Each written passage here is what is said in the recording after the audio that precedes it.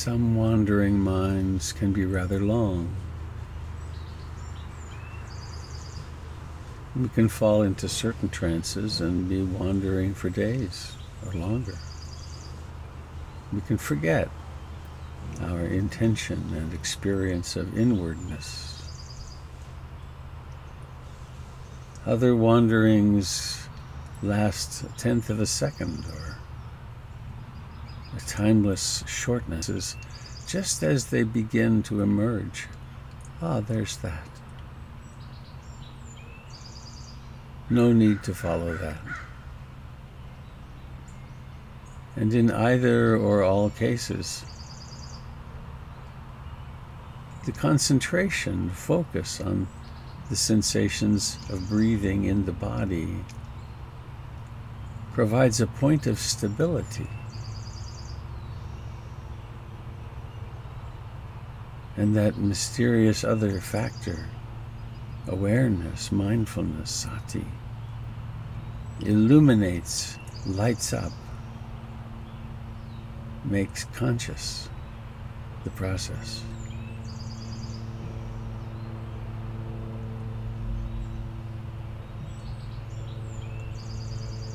Please acknowledge and open to the reality of a body that sits here. Notice its posture, its shape.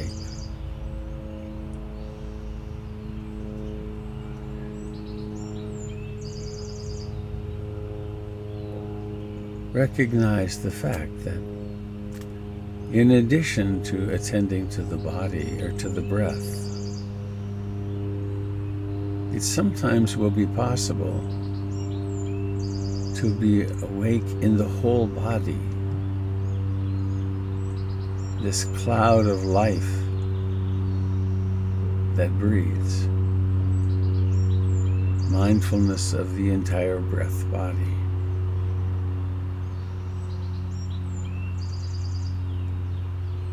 resting back into the present moment.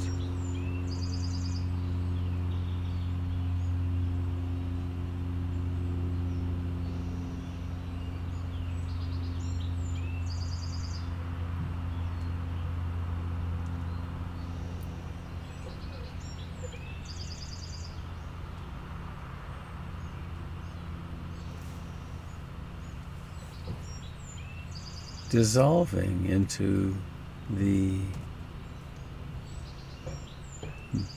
the fact that we are the universe.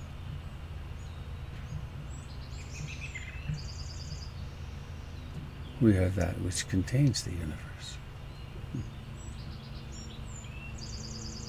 And we also exist at the level of birth and death. And it's here that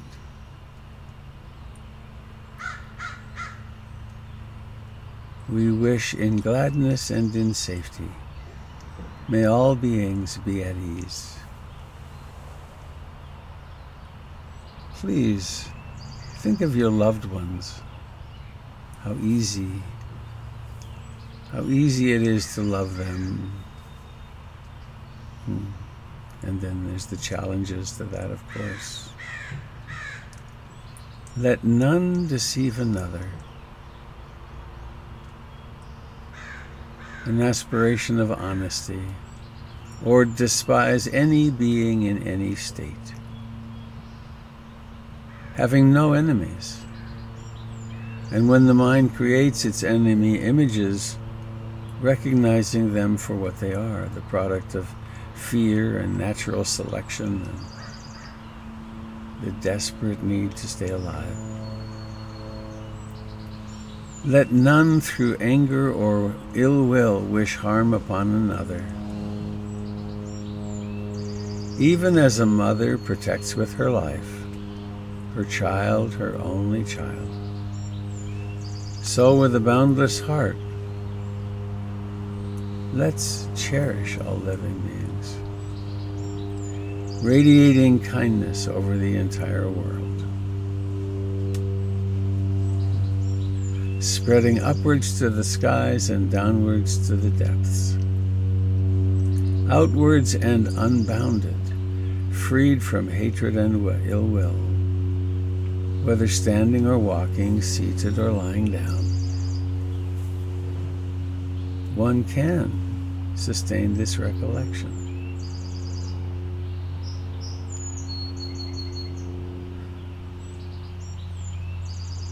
So, radiating, use your imagination. Become a golden being, radiating light in all directions, radiating healing. Now, for some people, visualizations work really well, others, it doesn't work. So then, just the thought how shall I be today? I'd like to be really loving to myself and to everyone I encounter, including the Zoom meeting encounters. and so please now notice the body might like to stretch. A sitting body stretches. How does it do it? How do you make that happen?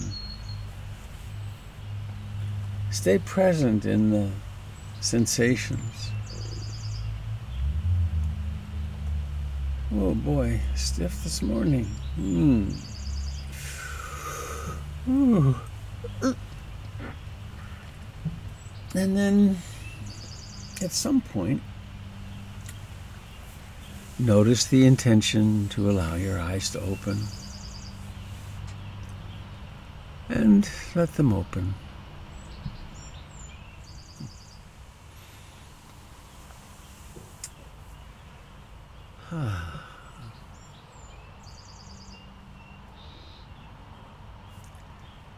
Yesterday,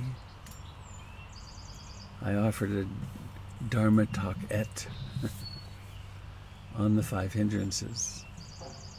I hope you noticed them some yesterday.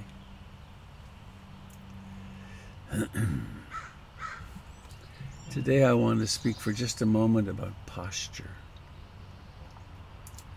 There are four postures in the traditional training. They are sitting, standing, walking, and lying down. And everything in between. They then expand to include driving, sprinting, crouching, doing all the things we do. a long time ago, decades, I had the opportunity to enter Burma for one week. And I, I did a week of practice, shaved my head, and novice ordination, and did a week of practice with an ancient old master called Taungpulu Sayadaw. He was a person who, at age 12 or something, went into a cave and was in there for 28 years the local people took care of him, honored him, and then he came out, and the rest of his life has been what well, he's now deceased, was just continuous service, presence for people. And while I was there, he, he, he this was my practice. Uh, on the first day, he said, Become aware of seeing. And all day, my practice was seeing. Seeing. Seeing. Not mindfulness of breathing, just seeing. Oh, seeing is happening. Seeing. And, you know, what do you do after 10 minutes of that? It's like, oh, yeah.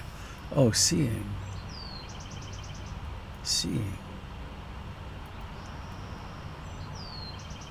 Second day, hearing. Notice that you're hearing.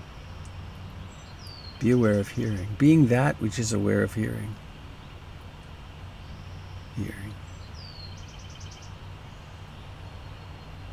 Third day, be aware of posture, sitting.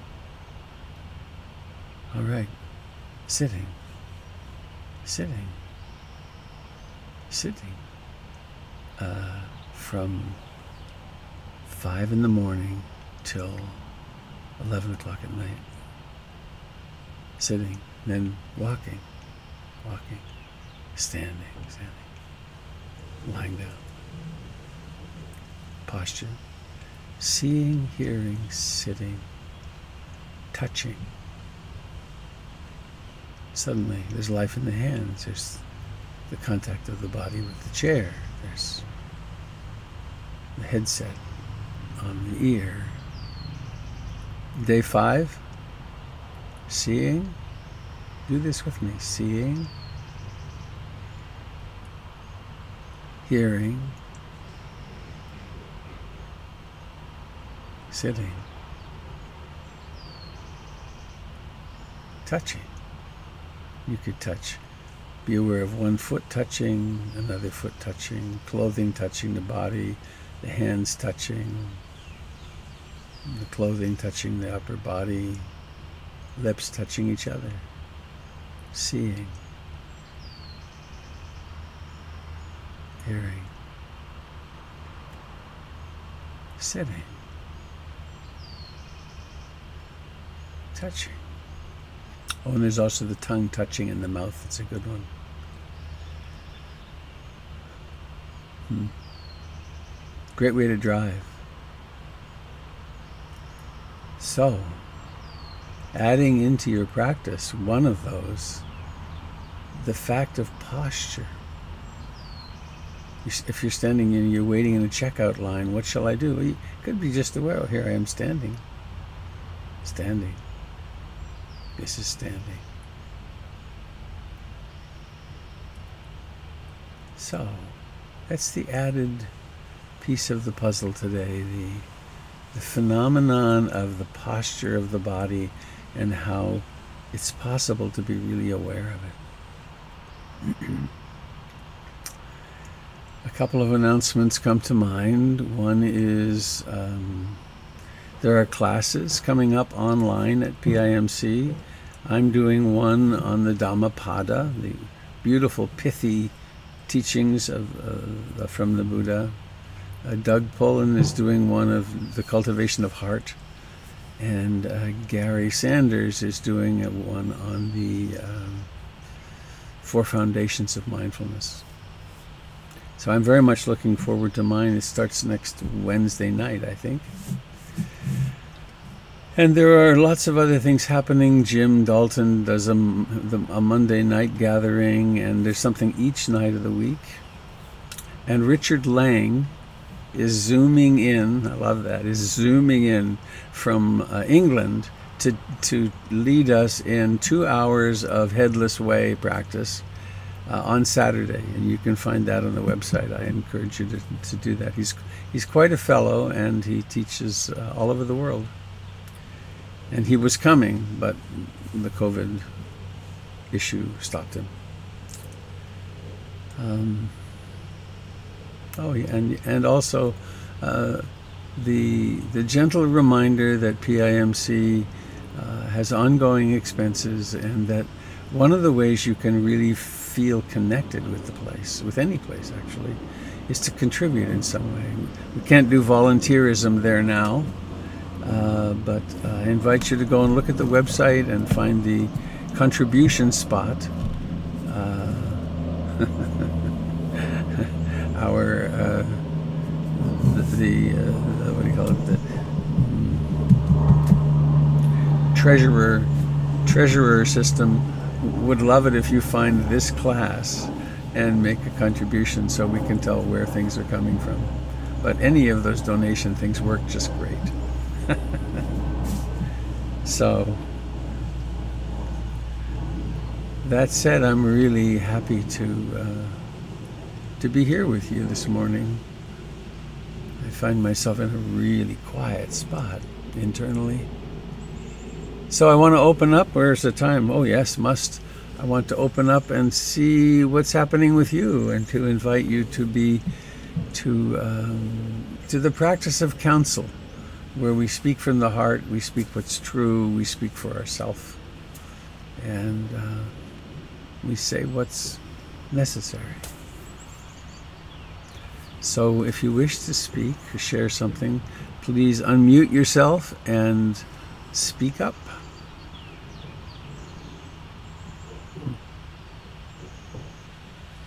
Robert, it's Linnell. Hello, Linnell. I want to thank you the loving kindness sutra. I love chanting that. It's nice, isn't it? Really, I mean, it was really lovely. I loved chanting it in the whole room with us all together.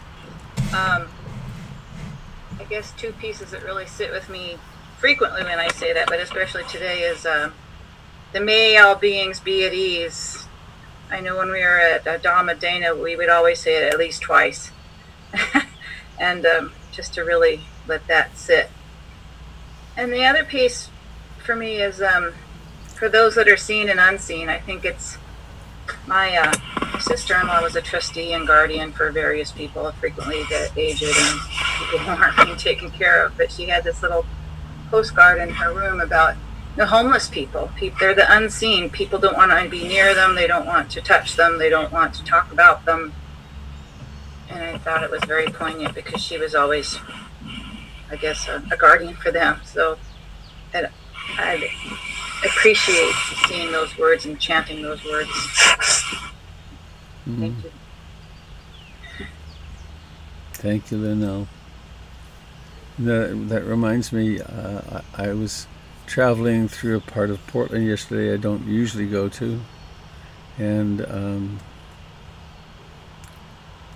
uh, there was a, a, homeless camp, and I was quite drawn to go visit them, and I didn't, of course, at this time.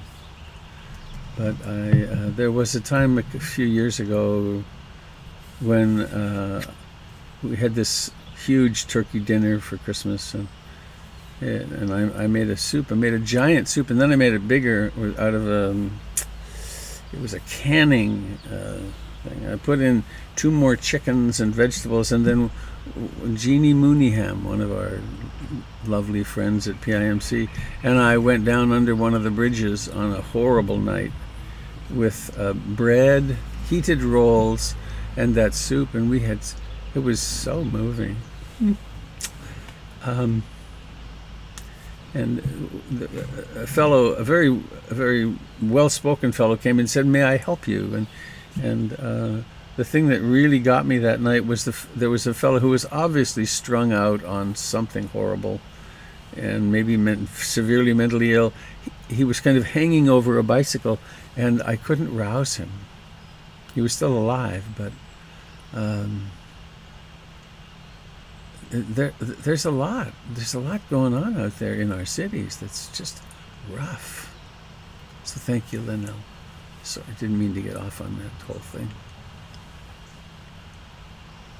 Anybody else, please?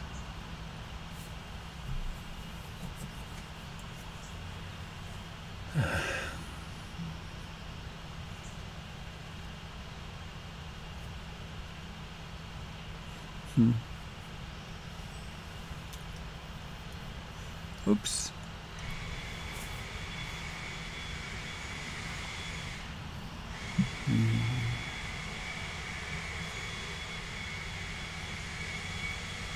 Hello. Hi, Christopher.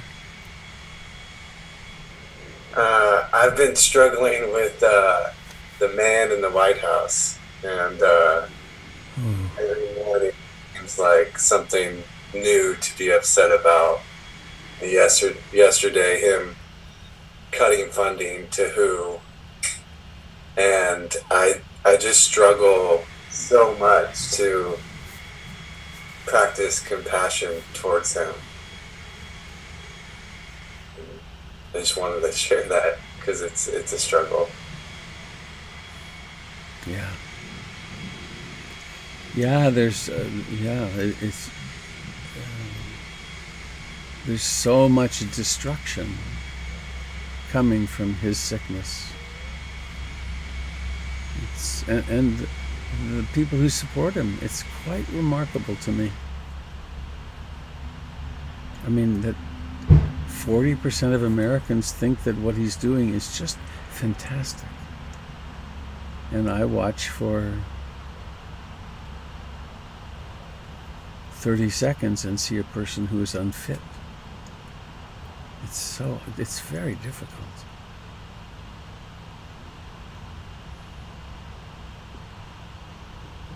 Yeah, so what's to do with that? You know, I, I have sadness, I have irritation, um, powerlessness, and then I, I just don't dwell in it that much. If there was something we could do actively, then of course we'd be called to do that, but just hopefully voting.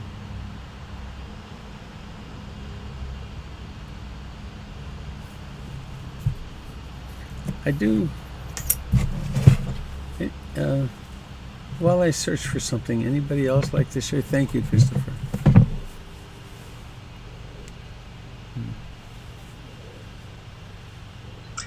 Robert. I'm just, here. I just wanted, because it triggered in me last night a wonderful exchange during the uh, NVC practice. And I've been struggling mightily with a friend who's also in the healthcare field, and she lives alone, and she's just been spinning.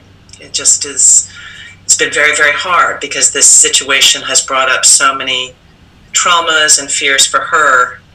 And I spent an afternoon with her, and I just felt completely helpless. Like, how do I try and employ my NVC skills? How do I try and do this? Anyways, last night's practice, I was reminded by a lovely uh, partner when we broke out that the equanimity practice, the uh, she sent me some very much like a metta practice, just sharing that sense of I love you and I honor you and I cannot fix your life for you. I cannot heal you, but I can send you all the love and compassion. And just now, as Christopher was saying that, I think that's going to be a new, revived, and more consistent practice for me because I think that's where I have to go when I see so many people hurt or lashing out or beating themselves up or operating ways that just seem so irrational in one sense and, and counterproductive, as Michael's saying. So anyways, it just struck me, and uh, and thank you. Thank you. Equanimity, you bet. Anybody else?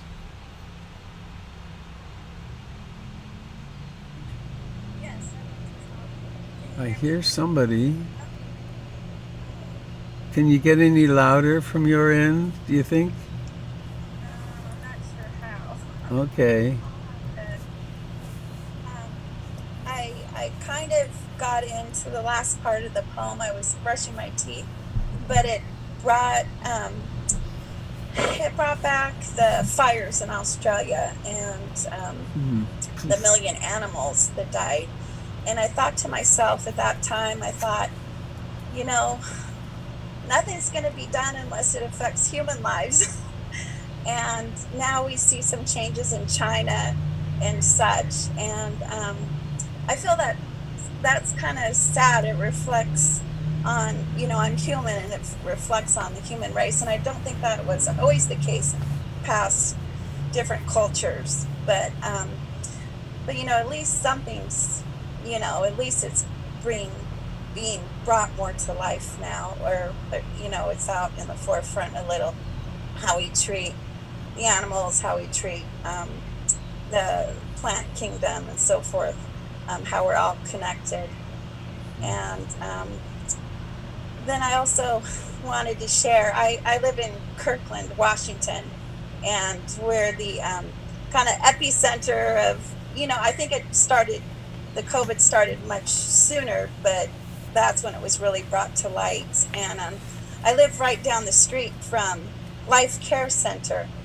Wow. And yeah, yeah. So a couple days ago, I rode my bike by and I just wanted to share. It was really touching. There's um, trees that line the parking lot, and somebody had um, tied blue ribbons around and put blue flowers, and then there were a lot of messages thanking the first responders. And it was just really touching. I mean, I know they're looking at a lot of fines and things and a lot of probably lawsuits and everything but it was still there was something about it that was just very touching. It really touched me, you know, that even through all that, you know, they, you know, there were those messages to the the firefighters and the people that went in there that risked their lives. Mm. So that was very touching. So Thank you, Lisa. Oh, you're welcome.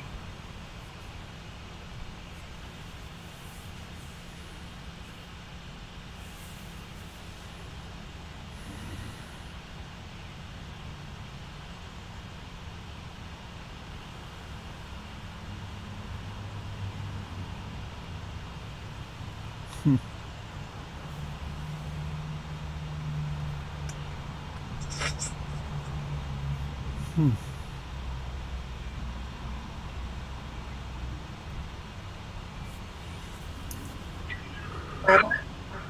Hello. Hi, Kathleen. Good morning. Um, my son is at the hospital. Um, he has been since last Thursday. Um, he was home for six hours and back in. Mm. So he continues to be in um, the hospital where the first COVID people passed. And um, he does not have COVID. What he has is quite mysterious. But, um, you know, we're all vigiling. And um, I noticed when I left yesterday, there were about 10 trees, and they all had blue ribbons. It was very, very touching to me, too. So please keep him in your prayers.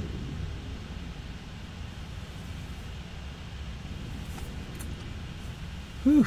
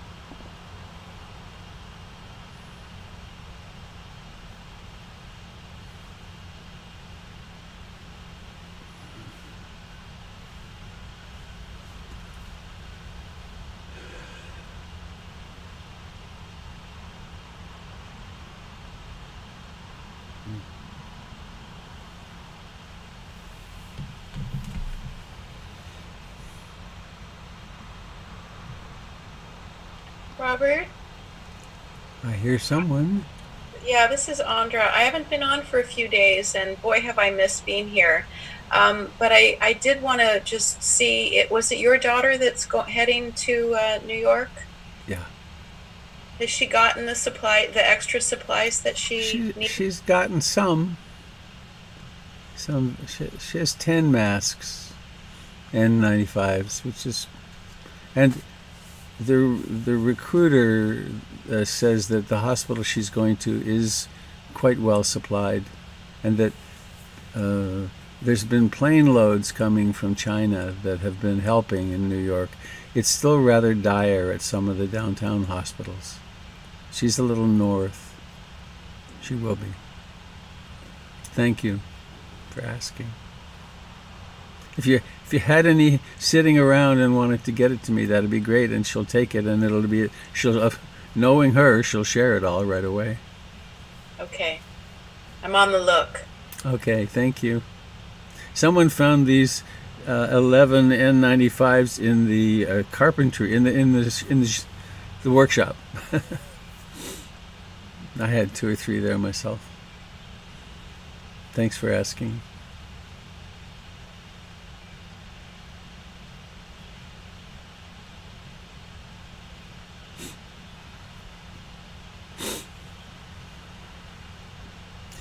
Have such an interesting experience with this morning practice that uh,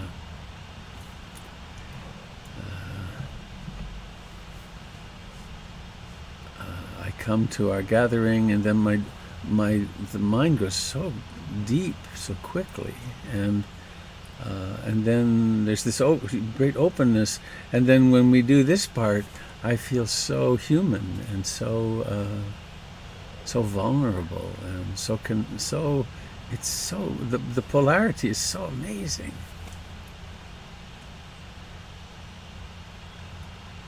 drawn into my heart really a lot by our presence together. Sangha.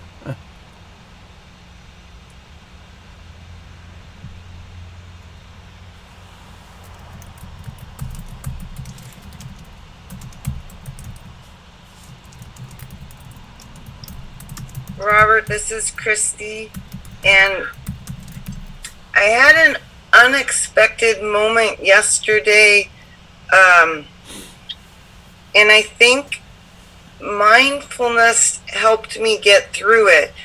My husband and I were working up in the attic trying to fix the pull down door, and it has a big spring, and I was having to pull the tension of the spring while he tried to push something to hook onto it and he wanted to do it just his way and I was seeing another way. And I just let it let it go. Just try to do it his way. And it was a different behavior. And then thinking it's because I'm I'm meditating. I'm trying to be mindful and then one one question when when you acknowledge something like you know um, worry uh-huh. you don't want to focus in on it um are you saying like i i feel that worry it's there you're you're something and then you sh- you just shove it away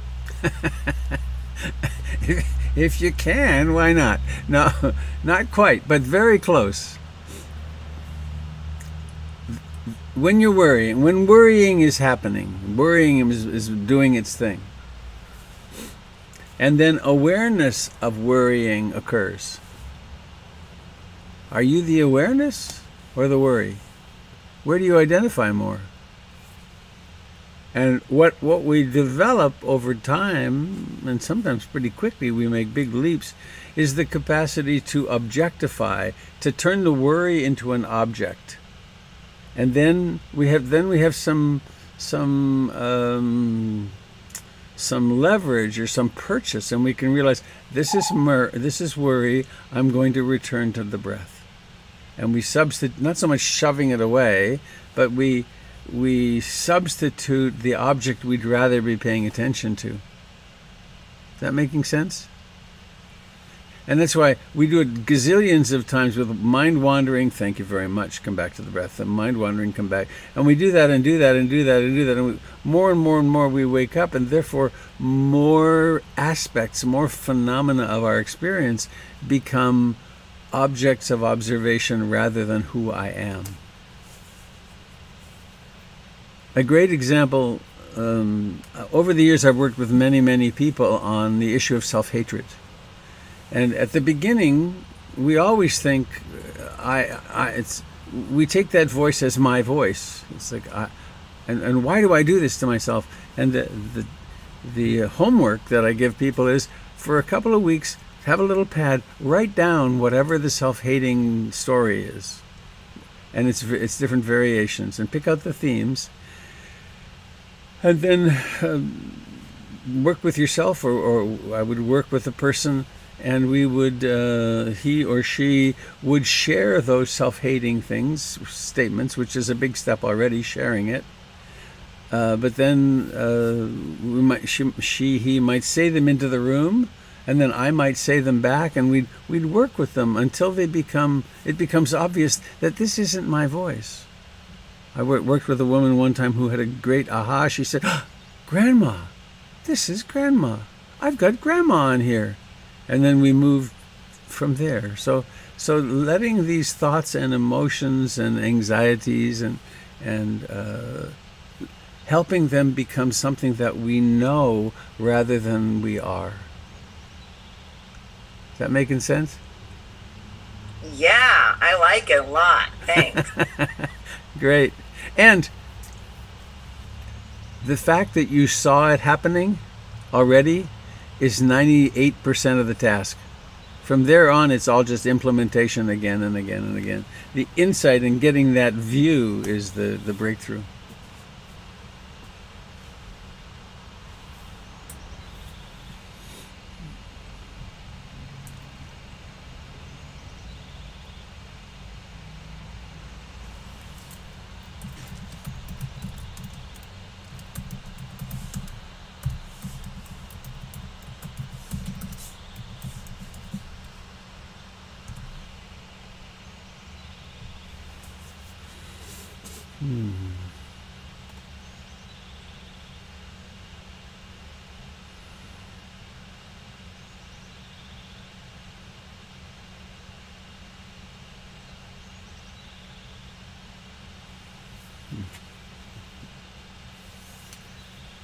Well, it's just a little after eight.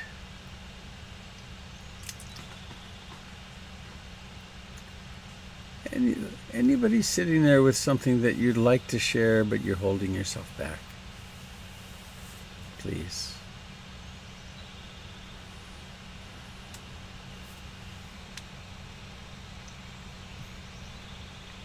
Robert, I have a question. I hear someone. Lorraine. Oh, hi, Lorraine. Hi. Um, nice, nice wall hanging behind you. Thank you. I made it a long time ago.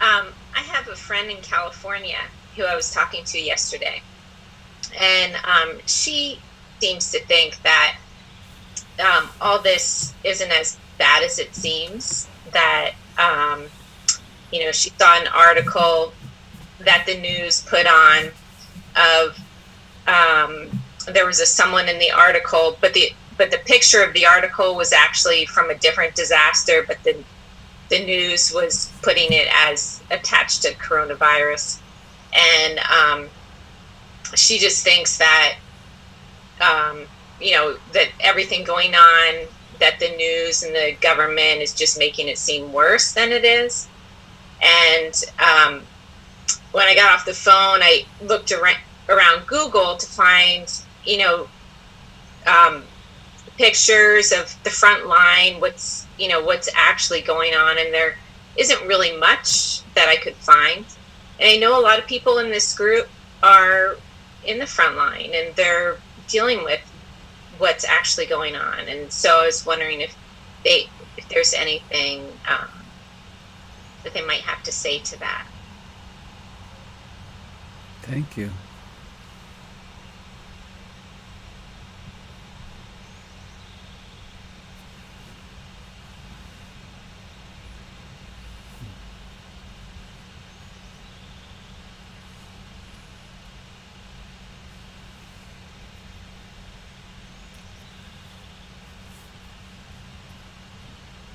I have conversation with someone who is um, from my perspective, I would say, has fallen into the trance of the um, conspiracy theory world. And um,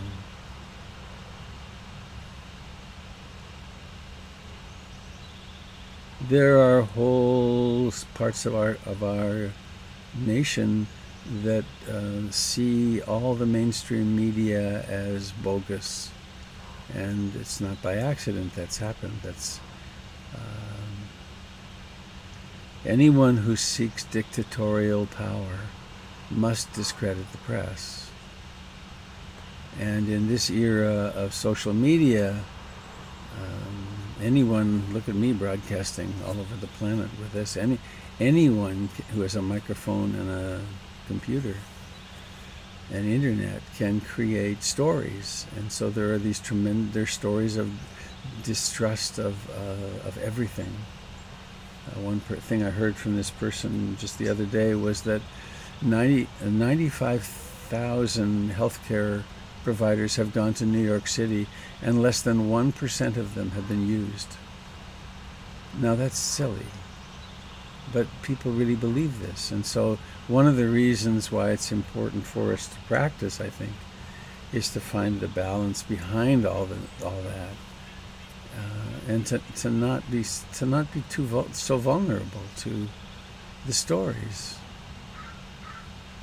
And to rem- I mean, all, all the only place we can have real influence is is in our sphere of influence, and how loving and kind can I be with the people that I know and and there's all this tumult that happens.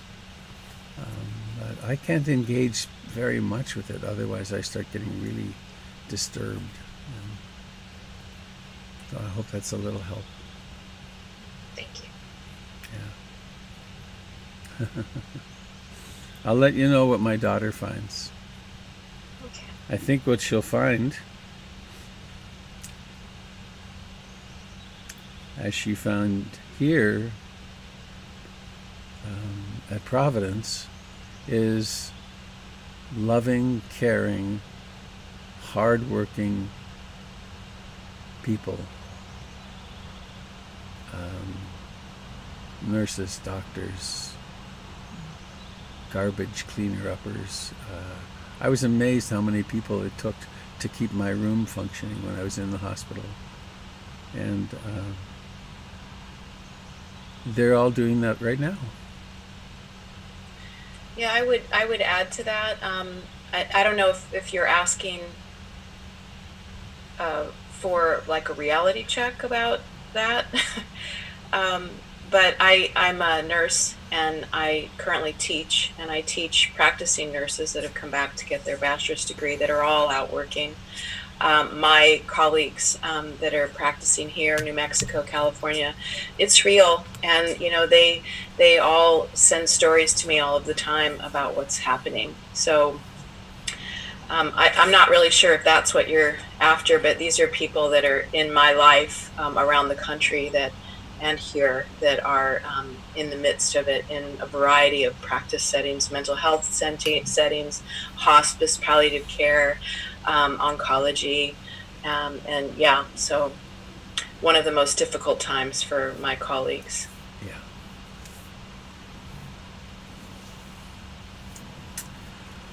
Thank you. what wonderful work you do. So, anybody else before we go? It's about, oh, it's 10 after 8. Time to end. Anybody here further? Hmm. All right. Well, let me just remind you to support your Dharma Center and we can all continue to be supported. So I'm going to unmute and we'll have our little cacophonous parting song. May all beings be happy. May all beings be happy. May all beings be happy. Sadhu, sadhu, sadhu. Goodbye, everybody. Oh, I love this. It's so. Bye, Connie. Bye, Allison. Bye, Allison. Bye, everybody. Bye. Say bye, Mom. Thank you, everybody. Bye. Goodbye, dear friends on Take care. YouTube, Ustream, and Facebook.